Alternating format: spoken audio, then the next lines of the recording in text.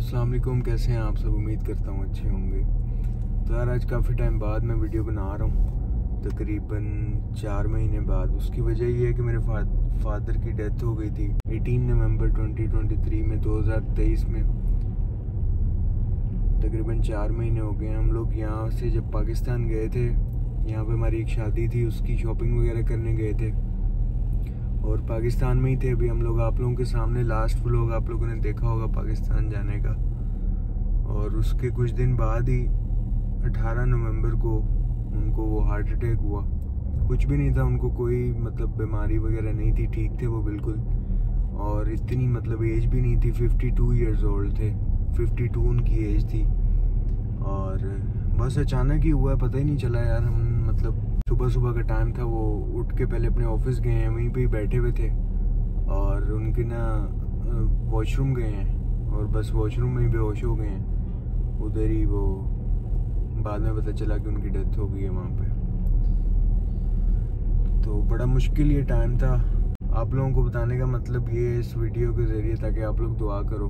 क्योंकि और तो कोई कुछ कर नहीं सकता, हम लोग इंसान कभी कुछ कर नहीं सकते इस अल्लाह के काम है ये। लेकिन क्या है कि दुआ कर सकते हैं। तो ज़रूर दुआ करो, अभी रमज़ान चल रहा है, रोज़े हैं, जब मैं ये वीडियो बना रहा हूँ। बहुत तो ज़्यादा बातें नहीं है कहने को, लेकिन ये है कि ये बहुत ज़्यादा मुश्किल टाइम होता है। और मतलब मुझे पता था कि ये टाइम देखना पड़ेगा, लेकिन इतना जल्दी देखना पड़ेगा, ये मैंने सोचा नहीं था। हर बंदे को अंदर अंदर पता होता है कि हम लोगों ने ये टाइम देखना है। लेकिन इतना जल्दी देखना है ये चीज़ नहीं मुझे था कि मुझे इतना जल्दी देखना पड़ेगा। I was like seven years old जब वो यहाँ यू e आ गए थे। बहुत छोटा था मैं। और बस, उसके बाद से अब तक का जितना भी सारा टाइम था मैंने उनके बगैर ही गुजारा था पाकिस्तान में। और वो यहाँ होते थे और मैं वहाँ पाकिस्तान में अपनी मामा के पास। अभी आके, अब कुछ टाइम हुआ था जब हम लोग यहाँ पे मूव किए थे और हम मतलब इकट्ठे रहने लगे थे। ऐसे समझ लो आप लोग अब आके अच्छा वक्त आया था। और अभी जो है वो बस चले गए। उन्होंने सारी ज़िंदगी बड़ी मेहनत की है, हर तरह का मतलब उन्होंने काम किया है, सब कुछ किया है उन्होंने, हम लोगों की खातिर। और आज वो दिन है कि अल्लाह का बहुत बहुत शुक्र है मतलब हर चीज़ के लिहाज से। आप लोगों से बस यही रिक्वेस्ट है कि आप लोग ज़्यादा से ज़्यादा दुआ करें जितनी कर सकते हैं। उनकी मकसरत की। उनको अल्लाह उनको जन्नत में जगह दे। वैसे भी रमज़ान का महीना है। तो बस दुआ, आप लोगों से यही रिक्वेस्ट है कि आप लोग दुआ कर दें। बाकी यही ज़िंदगी है। इंसान का पता ही नहीं चलता। मतलब सोचा भी नहीं होता। और जब उनकी डेथ हुई है अठारह नवंबर को तो रात में सत्रह नवंबर की रात में वो मुझे, उन्होंने मैसेज व्हाट्सएप पे किया हुआ था। मुझे कोई वीडियो का लिंक वगैरह सेंड किया हुआ था। यहाँ यूए में उन दिनों बहुत ज़्यादा बारिशें थी। तो उन बारिशों के मुझे ना दो तीन लिंक सेंड किए हुए थे। तो हम लोग ज़ाहिर है शादी की तैयारी कर रहे थे शॉपिंग वगैरह कर रहे थे लाहौर में। तो हम लोग पूरा दिन बाहर रहते थे मतलब रात तक बाहर, फिर लेट आते। तो मैं लेट हम लोग घर आए तो मैंने जब देखा व्हाट्सएप तो उनके मैसेज आए हुए थे। मैंने नीचे जवाब दिया उनको, पूछा मैंने उनसे कुछ। तो लेकिन वो उन्होंने, वो तब तक सो चुके थे, उसका जवाब उन्होंने नहीं दिया। और सुबह जब उठे हैं, सुबह के तकरीबन सात आठ बजे, हम लोग लाहौर में थे, तभी बस वो कॉल आई है कि उनकी ना, वो बेहोश हैं और उनको होश नहीं आ रही।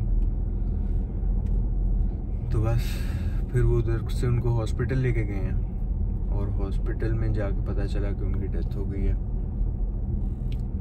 बड़ा मुश्किल टाइम होता है ये। बाकी ये सब्र अगर आप कह लो सब्र आ जाता है तो सब्र मैंने जो मतलब एक्सपीरियंस किया, मुझे नहीं लगता सब्र नाम की कोई चीज़ एग्जिस्ट करती है। सब्र कभी भी नहीं आता होता। ये बस हमारे माइंड की गेम होती है कि सब्र आ जाए। बस ये है वक्त के साथ साथ इंसान को उस दुख को सहने की ताकत उसकी बढ़ती जाती है।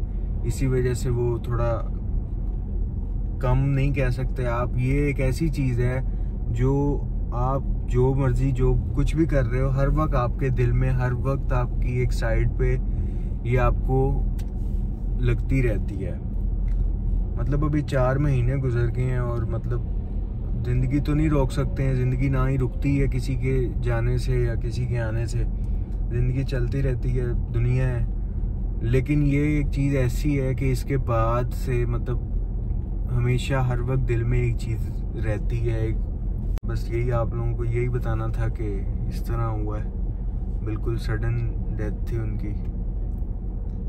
बहुत सारी चीज़ें मतलब सोची भी थी करनी, वो जो नहीं कर सके हम। बस अल्लाह की मर्ज़ी थी, इस वजह से ही नहीं कर सके हम। तो बस आप लोगों से यही है कि आप लोग बहुत सारी दुआ कर दिया करो।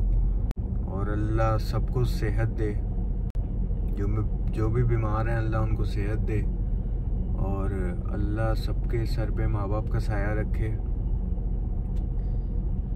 और अल्लाह हम सबको बुरी नज़र से भी बचाए।